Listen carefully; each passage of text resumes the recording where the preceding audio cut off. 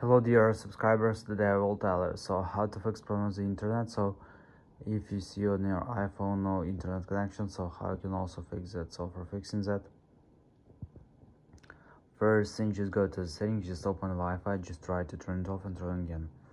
So after you can try to restore phone, so just go to the general, just scroll down, just tap on shutdown, slide to power off, wait a second,